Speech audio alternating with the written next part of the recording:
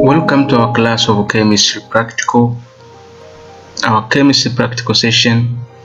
Today we are in our topic of volumetric analysis.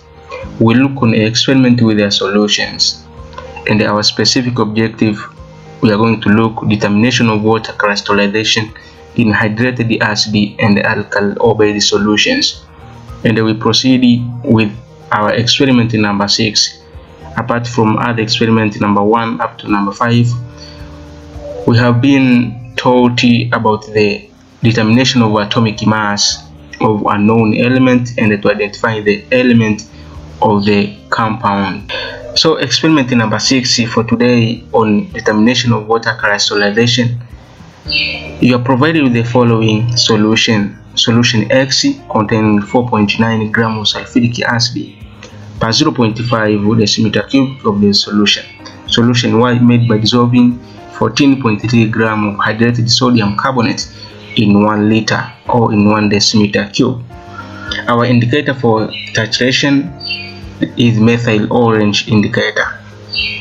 That is our solution or that is our data we are going to use on solving this question or this experiment.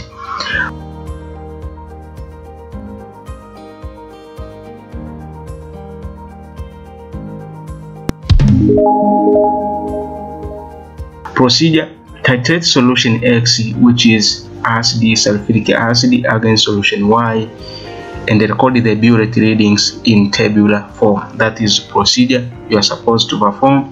It means you are supposed to know X is going to be in a burette and the solution Y you are going to pipette by using a pipette either 20 mils or 25 mils.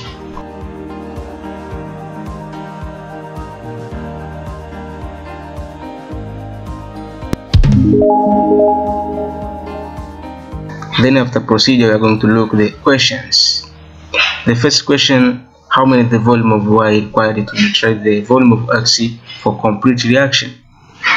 Second question, write the balanced chemical equation for the reaction between Y and X. The third question, what is the color change for the reaction? So the color change for the reaction was from where to where. So you're supposed to note what is the color will appear and after titration, what is the color will be observed. Another question, what is the purpose of the indicator in this experiment? Why you have been used the indicator in this titration experiment?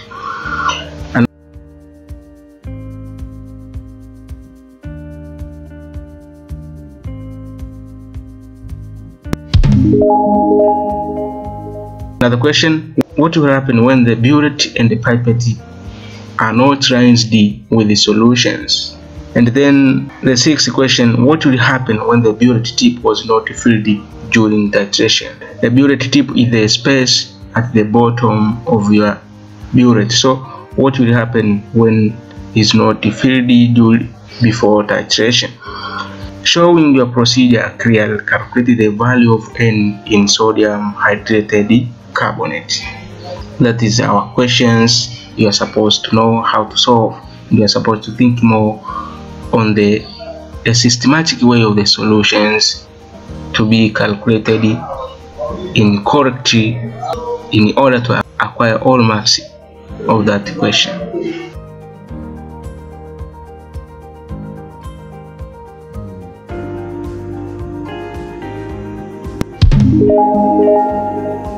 Let's proceed with the answers to see how this question you can solve in a systematic way. The answer is the first step we are supposed to show the pipette used and the burette used. According to apparatus we have pipette, we have been used 25 mils. Burette used is 50 mils. That is our apparatus for titration. Then after that we are supposed to show the table results. Even if you are at equation there is no table of results you are supposed to record and show the table of results. So burette readings. When you fill your table, you are supposed to consider the SI unit of your volume, which is centimeter cube.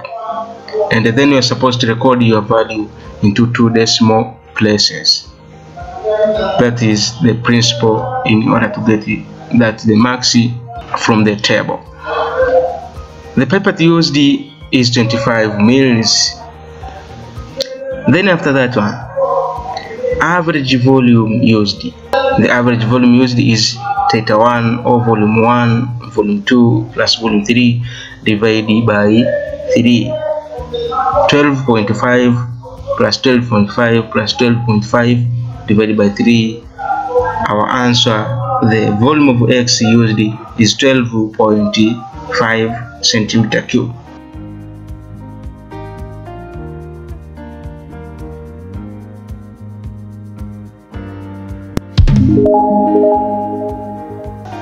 What is the volume of y required to neutralize the volume of x for complete reaction? 25 of y required to neutralize 12.5 of x for complete reaction.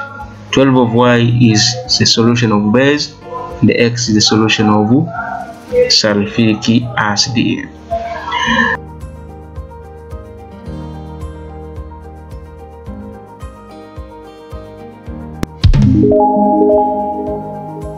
The balanced chemical equation sulfuric acid aqueous solution react with sodium carbonate.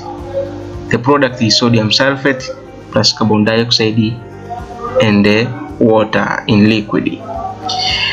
That is neutralization reaction between acid and carbonate. And this compound of sodium carbonate is hydrated, but you are supposed to note that when you are showing your balanced chemical equation, that amount of water is not included. So you are supposed to put in your mind in order to are going to solve your value of n.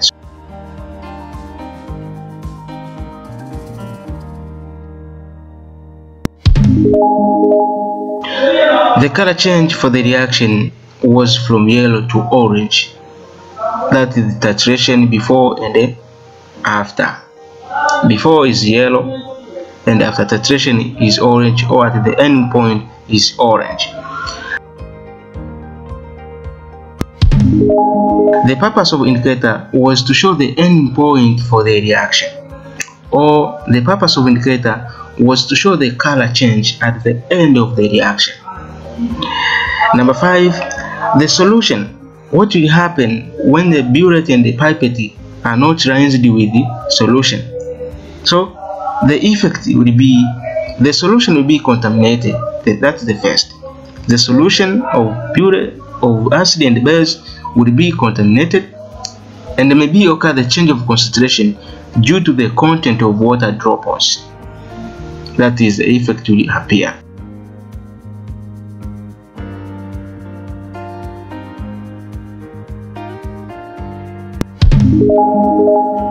And then what would happen when the burette tip was not filled? The answer is will occur the wrong burette readings that lead the inaccurate volume of acid to neutralize the base. So you are supposed to fill a burette above zero in order to fill that the bottom or burette tip in order to get accurate volume for titration.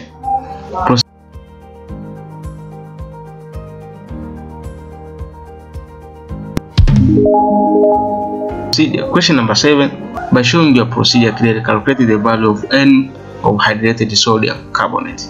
So this question is supposed to think where you are going to start and then where you are going to, to be the end of your procedure in order to get the value of N or hydrated amount.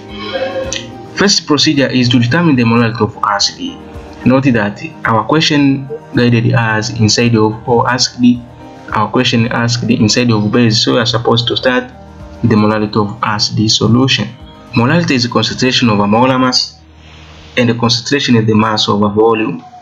Our mass is 4.9 and our volume of dissolving this the mass is 0.5 decimeter cube. So the concentration is 9.8 molar mass of sulfuric acid is equal to 98 gram per mole so the molality is equal to concentration over molar mass, which is concentration 9.8 and the molar mass is 98. So the molality of solution as the solution is 0.1 mole per decimeter cube. That is first procedure.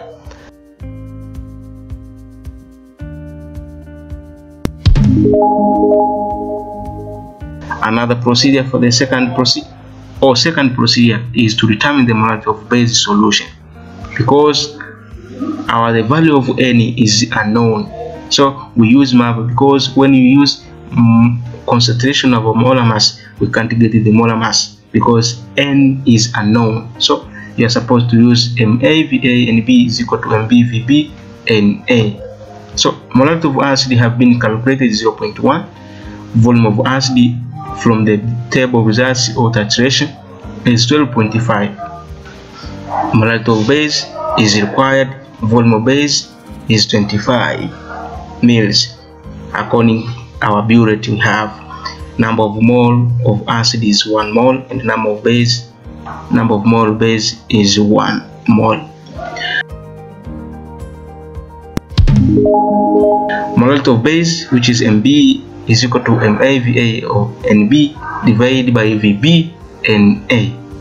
So 0.1 times 12.5 times 1 mole over 25 mils times 1 mole.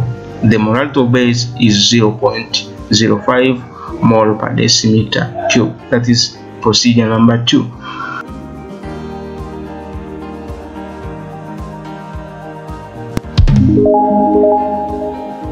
Procedure number 3 to determine the molar mass of sodium carbonate hydrated.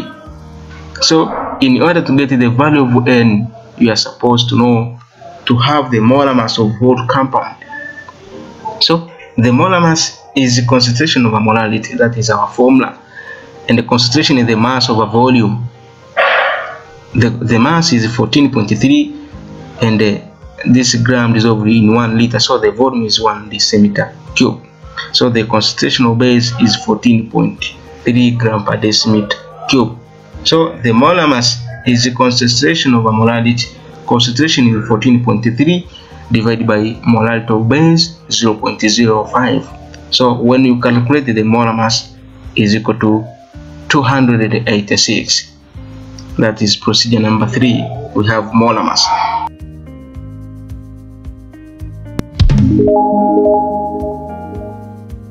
procedure number four is to determine the value of n in hydrated sodium carbonate. That is our calculations. It means you measure the, the atomic mass of known compound or known element from that molar mass and then or from that relative atomic mass and then the value which remain will be the value of n